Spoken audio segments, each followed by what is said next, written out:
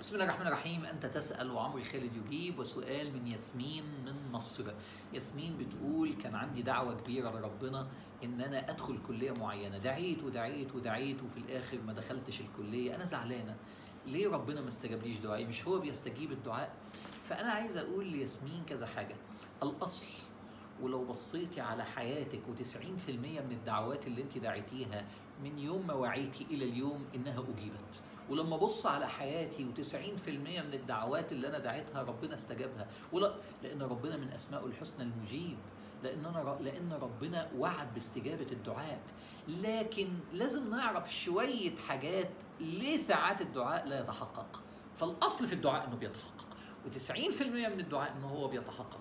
وربنا سبحانه وتعالى كريم وخزينه مليانة ومش بخيل وعطاؤه واسع ورحيم وودود قريب مجيب. ما قالش مجيب بس قريب يعني حاسس بيكي ومجيب. سبحانه وتعالى. وإذا سألك عبادي عني فإني قريب أجيب دعوة الداعي إذا دعاني. فلازم يبقى جواكي يقين حتى مع الدعوات اللي ما استجبتلكيش وأنا ياما دعوات ما استجبتليش. وياما فلان دعوات ما استجبتلوش وياما فلان دعوات ما استجيب لازم نبقى عندنا يقين أن الله مجيب الدعاء. خلصنا النقطة دي. إيه بقى الحالات اللي ربنا لا يستجيب فيها دعائك؟ إنك تكوني بتدعي بحاجة شر ليكي وهو سبحانه وتعالى عايز لك الخير. ويدعو الإنسان بالشر دعاءه بالخير وكان الإنسان عجولا. هو بيدعي حاجة دي شر. دي لو حصلت لك هتضرك لو اتجوزتي فلان هيأذيكي. لو دخلتي الكلية الفلانية حياتك هتتدمر.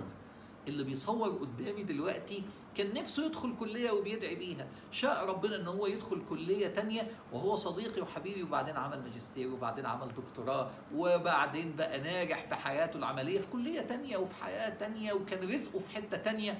ويدعو الإنسان بالشر دعاءه بالخير وكان الإنسان عجولا. ما تعرفيش الخير فين؟ ده من حبه ليكي يكون ما استجابلكيش.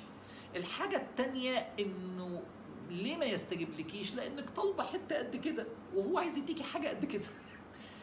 فأنا كنت بدعي زمان يا رب أفضل أدي دروسي في المسجد بتاع نادي الصيد اول مسجد ابتديت بيه. ولو كانت استجيبت الدعوة كنت هفضل لسه في نادي الصيد لغاية النهارده. لكن ابدا وطلعت بره ولا لا كانت النتيجة إن أنا انطلقت بيا الحياة. عايز أقول لك في الآخر إن ربنا أرحم بينا. من كل شيء. هتقولي لي طيب يبقى ما ادعيش بعد كده وأقول له اختار لي الخير وبس. لا هو يحبك إنك تدعي لأن الدعاء عبادة ولأن 90% بيستجاب الدعاء. ولأنك في الآخر بتقولي لنفسك مشيئته هي التي يعني تقود الكون كله. خلي بالك من عدم أنا آسف بقى في الكلمة من العيب وعدم الأدب مع الله. أنت ما استجبتش دعائي ليه؟ هو يفعل ما يشاء. هو مالك الملك. والكون كله مقهور بمشيئته. سبحانه وتعالى. كل الكون مقهور بمشيئة الله سبحانه وتعالى. بس هو من كرمه. قال لكم لو دعيتوني أستجيب ليكم إلا لو كانت حاجة تضركم. عايزة إيه أكرم من كده؟ تحبيه ولا ما تحبيهوش؟ تفضلي تدعيه ولا لأ؟ الدعاء في حد ذاته عبادة. يعني الدعاء اللي أنت دعيتيه ده ما راحش هدر. ده تحول لحسنات كبيرة لأنك عبدت الله بدعائك. أنا ساعات أقعد أدعي أدعي أدعي وبعدين ما يحصلش. أقول يا سلام كل الدعاء ده كان عبادة لله. اللهم لك الحمد. وأكيد الخير في اللي ربنا عايزه. سلمي أمرك لله. كوني مقهورة بمشيئة الله. ارضي عن الله. في الآخر يفعل ما يشاء. وهو رحيم كريم ودود. شكرا والسلام عليكم.